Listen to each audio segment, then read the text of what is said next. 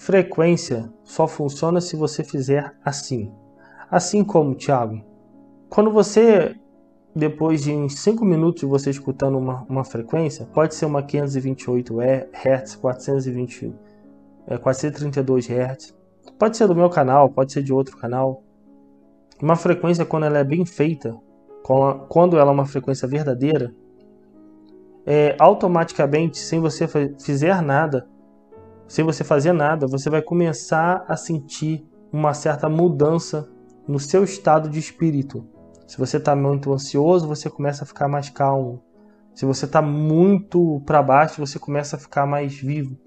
E aquele, aquela frequência, se quando você começar a escutar, você começar a sua mente ir para um estado muito mais longe da onde você está, e você ter várias conclusões assim, o pessoal chama de viajando, né? Mas não é viajando, você está se conectando com a mente divina.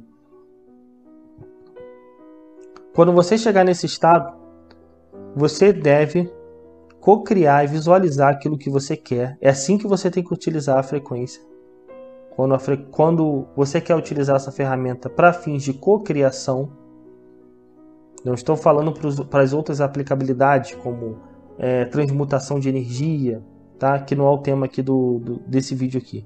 Quando você quer utilizar para cocriação, manifestar no físico aquilo que está sendo criado no mental, você precisa alterar o seu estado de espírito emanando felicidade e certeza a ponto de você mudar radicalmente em menos de 5 minutos o seu estado de espírito. Você sente uma felicidade inexplicável, uma alegria.